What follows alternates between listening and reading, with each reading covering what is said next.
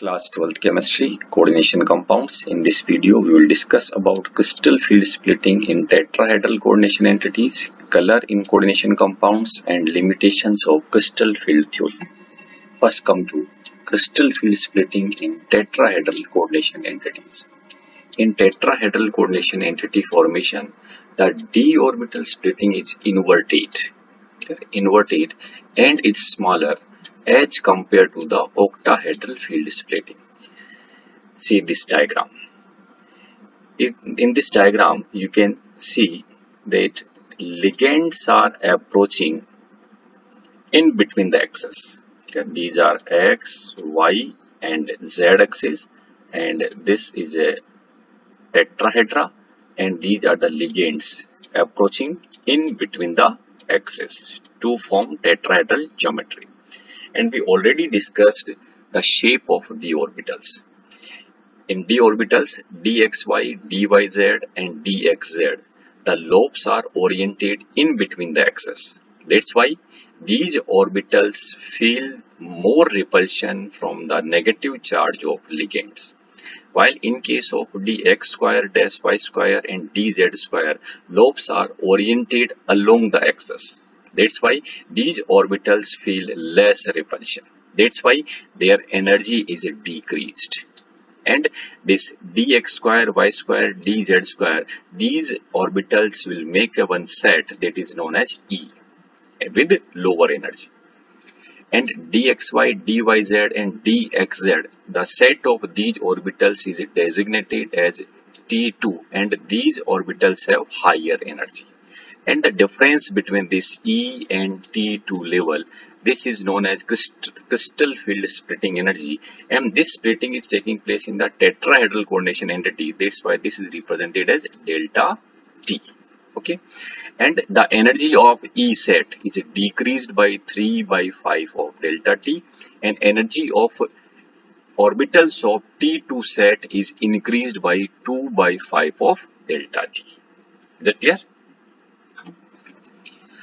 For the same metal, the same ligands and metal ligand distances, it can be shown that delta T is equal to 4 by 9 of delta O.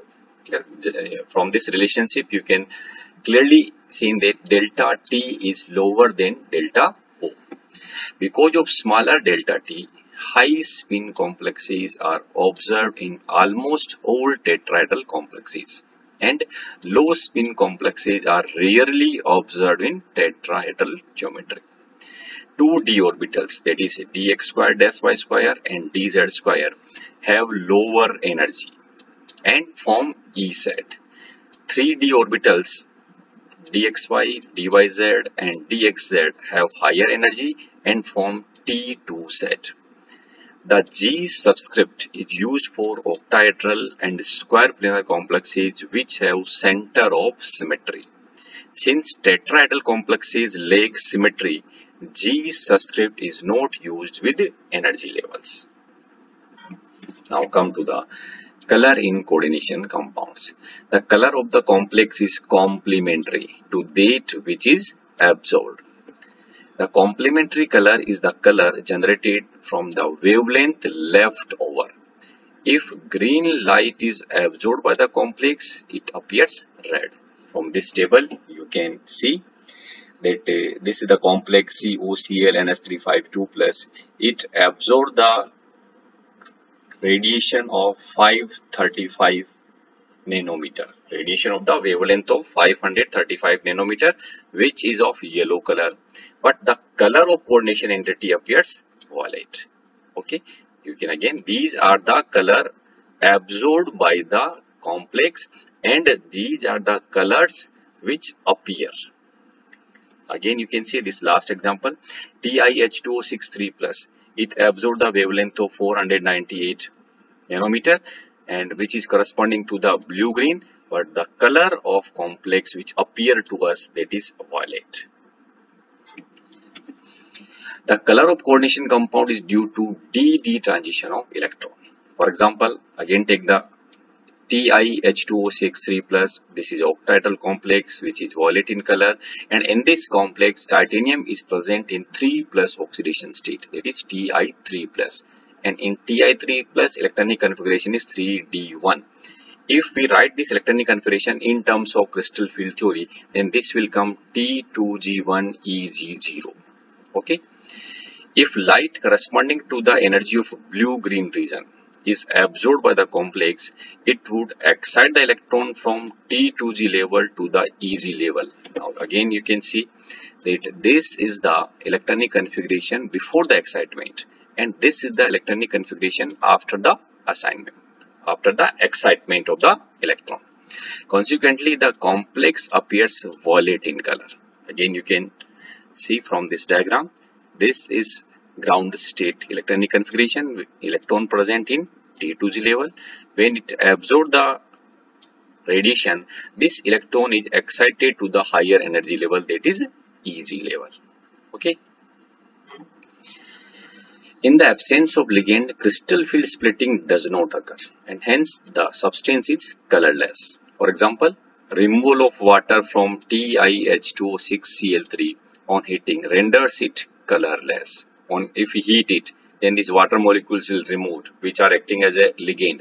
Then this uh, compound becomes colorless. Similarly anhydrous copper sulfate is white but CuSO4 dot 5H2O is blue in color. You are familiar with this copper sulfate pentahydrate which is blue in color. If you heat it again these water molecules will remove and this will convert into anhydrous copper sulfate which is white in color. Again nature of ligand will also decide the color of a complex. That's how you can say influence of the ligand on the color of a complex. If we take aqueous solution of this compound, NiH2O6 plus which is green in color, okay, add this is ethylene diamine, En. Then two molecules of water is replaced by one molecule of En and the complex becomes pale blue color okay. Again if we add the excess of en then two more water molecules are removed by the one more molecule of en and this complex is formed which is either blue or purple color. Then again if we add the excess of ethylene diamine then all the water molecules are replaced by the en and we will get this complex and which is violet in color.